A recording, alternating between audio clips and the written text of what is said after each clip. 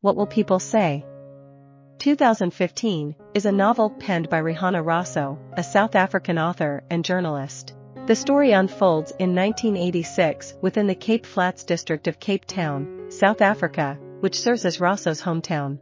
Against the backdrop of apartheid, a system characterized by enforced segregation and racism, the book interlaces the lives of numerous individuals grappling with poverty.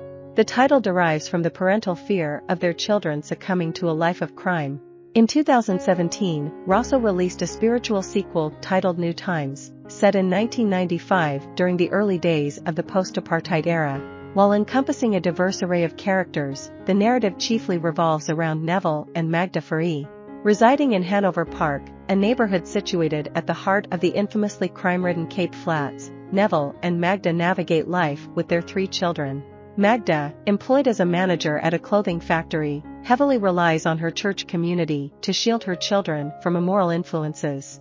Neville, working as a bike messenger for a local law firm, endeavors to safeguard his family and community by participating in a neighborhood night watch, a perilous occupation given the rampant crime in Hanover Park. Rossouw sheds light on the cultural vibrancy of the Cape Flats area while unflinchingly depicting the daunting realities of gang violence and the prevailing desperation in the district. In Hanover Park, barricades formed by burning tire walls are erected at specific points along its perimeter to shield residents from the worst atrocities in the surrounding area. The Fourie family comprises three children, Suzette, Nikki, and Anthony. Suzette, the eldest at 18 years old, possesses striking beauty and harbors aspirations of utilizing it to escape Cape Flats and secure a better life by marrying a wealthy husband. On the other hand, the introverted and contemplative middle child, 16-year-old Nikki, seeks a similar path to a brighter future but through her intellect rather than her appearance.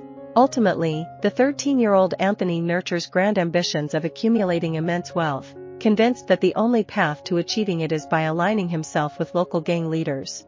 As the Fourie family grapples with their individual struggles, their neighborhood becomes engulfed in a violent turf war between two rival gangs, the JFK and the Americans.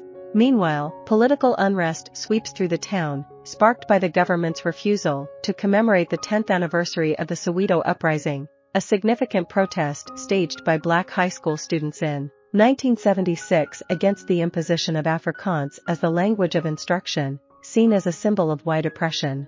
Among the array of characters, there is Auntie Moira, a seductive neighbor sporting a Princess Diana-inspired haircut that was immensely popular during that era. Adding further complexity to Magda's unwavering belief in the church as a haven of personal integrity amid the chaos of Cape Flats is Pastor Williams, a preacher with dubious ethics.